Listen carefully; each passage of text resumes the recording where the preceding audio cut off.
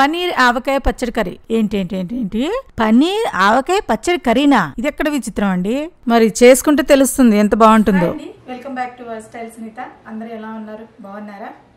ఎవరైనా గెస్ట్లు సడన్గా అవలాపే సడన్గా వస్తున్నారంటే ఈ రెసిపీ చేసి పెట్టండి. సూపర్ ఫాస్ట్గా అయిపోతుంది అండ్ కత్తిలా ఉంటుంది. అది మెయిన్. అడిషనల్గా చెప్పేది ఏంటంటే టేస్టీగా ఉంటుంది. చాలా సింపుల్గా అయిపోయే ఈ పన్నీర్ కర్రీ ఎలా చేయాలో చూసేద్దాము. కొద్దిగా ఆయిల్ వేసుకున్నాం ఒక- one and half tablespoons oil. కోట అయ్యే విధంగా ఇలా అనండి. జస్ట్ స్వెల్ చేయండి. దానికి మీడియంలో పెట్టుకోండి. ఇది వేసుకోండి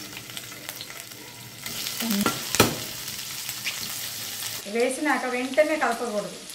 ఆ ఫస్ట్ లేయర్ అతుకుపోతుంది సో కొద్దిగా వేగినాక అప్పుడు కలపండి. ఇలా వేగినాయి కదా ఇవి మొత్తం అన్ని వైపులా వేగాల్సిన అవసరం లేదు. ఒక్కసారి జస్ట్ మగ్గినాయి కాబట్టి ఇవి తీసేసుకోవచ్చు ప్లేట్లోకి. ఇదే సేమ్ ప్యాన్లోకి ఆయిల్ ఇప్పుడు వేసుకుందాం కొద్దిగా ఎక్కువ. ఒక రెండు మూడు టీ స్పూన్స్ వేసుకుందాం. పది నుండి పన్నెండు మెంతులు. ఇప్పుడు దీంట్లోకి హాఫ్ ఏ టీ స్పూన్ ఆవాలు హాఫ్ ఏ టీ స్పూన్ జీలకర్ర హాఫ్ ఏ టీ స్పూన్ సోంపు అండ్ హాఫ్ టీ స్పూన్ కలోంజీ. కలోంజీ అంటే ఈ ఆనియన్ సీడ్స్ అన్నమాట. మంచి ఫ్లేవర్ఫుల్గా ఉంటుంది. ఇప్పుడు దీంట్లో కొద్దిగా అంత ఇంగువ. ఓకే? మంచిగా ఇంగువ వేస్తే భలే ఉంటుందండి టేస్ట్. ఓకే? స్మెల్ వస్తుంది మంచిగా. తాలింపు భలే స్మెల్ వస్తుంది. ఇప్పుడు దీంట్లోకి ఒక రెండు ఆనియన్స్ సన్నగా తరుస్తుంది చాలా అంటే చాలా సింపుల్గా అయిపోతుంది చూడండి. ఇది ఒక వెరైటీ. అన్ని రకాలు కాకుండా కాస్త తొందరగా వేగాలంటే సాల్ట్ వేస్తుంది సాల్ట్. ఇది వేగుతూ ఉండగా ఒక రెండు టేబుల్ స్పూన్స్ పల్లీలను వేయించి పెట్టుకున్నాను. పొట్టు తీసేసి ఇప్పుడు వీటిని గ్రైండ్ చేసుకొని వస్తాను. ఇలా ఉల్లిపాయ వేగింది అనుకున్నాక ఇప్పుడు హాఫ్ టీ స్పూన్ పసుపు వన్ టీ స్పూన్ కారం వేసుకొని ఒక్కసారి కలుపుకుందాము. ఇప్పుడు దీంట్లోకి అసలు అయింది వేసుకోవాలి. ఒక టీ స్పూన్ శనగపిండి. Teaspoon or tablespoon అని కూడా వేసుకోవచ్చు. ఇది కాస్త శనగపిండి వేగనిద్దాము ఆయిల్లో. మంచి వాసన వస్తుందండి సువాసన. ఇది వేగుతుంటే శనగపిండి.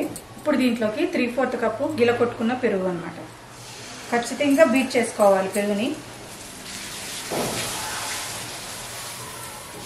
ఒకసారి కలుపుకున్నాను ఒక వన్ ఫోర్త్ కప్పు వాటర్ ఇదే ఇదే బౌల్లో వేసేసుకొని వేసుకున్నాను ఒకసారి టేస్ట్ చేసి చూడండి సాల్స్ సాల్ట్ సరిపోయిందా లేదా? కొంచెం తక్కువ ఉంది. వేసుకున్నాను ఇప్పుడు వేసాను. పల్లీలు ఉన్నాయి కదా మనం పల్లీలు వేయించుకుని అది పౌడర్ చేసి పెట్టుకున్నాను. ఒక్కసారి కలుపుకుందాం దీన్ని. త్రూ అవుట్ ద ప్రాసెస్ మంటని మీడియం ఫ్లేమ్లో పెట్టుకోండి. ఇప్పుడు దీంట్లో అసలైన ఇంగ్రీడియంట్ మన మామిడికాయ పచ్చడిలో గ్రేవీ ఉంటుంది కదా అది వేసుకోవాలి. ఒక టీ స్పూన్ వేసుకోవాలి. ఇది డిఫరెన్స్ వేసుకొని కొంచెం వాటర్ వేసుకొని ఇంకా దీన్ని కొద్దిగా ఉడకనిద్దాము.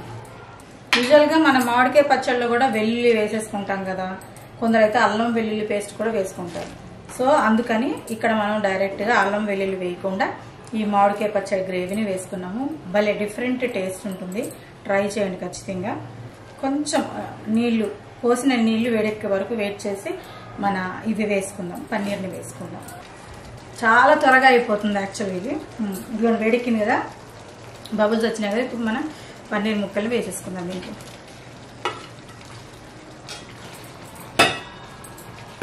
వేసేసి మూత పెట్టి ఒక రెండు నిమిషాలు ఉడకనిద్దాము కొంచెం ఆవిరికి అది పన్నీర్ ముక్క కూడా మెత్తబడుతుంది.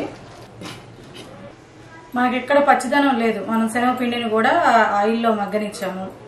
సో ఆల్రెడీ వేరుశెనగ పప్పులు కూడా వేయించుకొని వేసుకున్నాం కాబట్టి ఎక్కడ పచ్చిదనం అసలు ఎక్కడ ఉండదు. వెంట వెంటనే అయిపోద్ది రెసిపీ. చాలా త్వరగా అయిపోతుంది. ఇప్పుడు ఈ పన్నీర్ ముక్క మసాలాలన్నీ పట్టే వరకు వేడి చేసుకుంటే బాయిల్ చేసుకుంటే సరిపోతుంది. చివరిన కొద్దిగా కొత్తిమీర యాడ్ చేసుకోవడం. చాలా సింపుల్ ఇది రెసిపీ. అండ్ త్వరగా అయిపోతుంది. ఎప్పుడైనా హరీ బరీగా ఉండి ఎప్పుడైనా మన దగ్గర టైం లేదు అస్సలు టైం లేదు ఎవరైనా గెస్ట్లు సడన్గా అవలాపే సడన్గా వస్తున్నారంటే ఈ రెసిపీ చేసి పెట్టండి. చాలా సూపర్ సూపర్ సూపర్ ఫాస్ట్గా అయిపోతుంది అండ్ కత్తిలా ఉంటుంది. అది మెయిన్. అడిషనల్గా చెప్పేది ఏంటంటే టేస్టీగా ఉంటుంది. ఇదిగోండి. ఆయిల్ కొంచెం సైడ్స్కి వస్తుంది కదా. ఇప్పుడు ఈ కొత్తిమీర వేసుకుందాం. ఓకే చాలా సింపుల్. అండ్ గెస్ట్లకి సూపర్ టేస్టీ పెట్టేయచ్చు అనమాట మేము ఎక్కడ టేస్ట్ చేయలేదండి అని అంటారు చూడండి ఇప్పుడు. టేస్ట్ చాలా డిఫరెంట్గా ఉంటుంది. చూడండి అయిపోయింది కర్రీ అయిపోయింది అంతే. ఫాస్ట్గా అయిపోయింది ఇదిగోండి. ఆయిల్ కూడా పైకి వచ్చేసింది ఇంకా అయిపోయినట్టే కర్రీ. కన్సిస్టెన్సీ చూపిస్తాను చూడండి. చక్కగా అన్నంలో కలిసే విధంగా బాగుంది. చూసారా? ఇంత చేసుకున్నాం టేస్ట్ చేయకుండా ఉంటామా? గ్రేవీ చూడండి ఎంత చక్కగా కలుస్తుందో. అండ్ ముక్క కూడా పన్నీర్ ముక్క చూడండి ఎంత సాఫ్ట్గా ఉందో.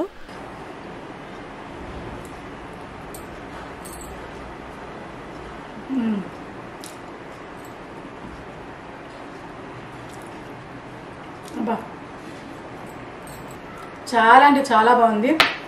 ఖచ్చితంగా ట్రై చేయండి. అండ్ మీకు ఎలా వచ్చిందో నాకు కమెంట్ చేసి చెప్పండి. గెస్ట్లకు పెట్టే రెసిపీ ఇది.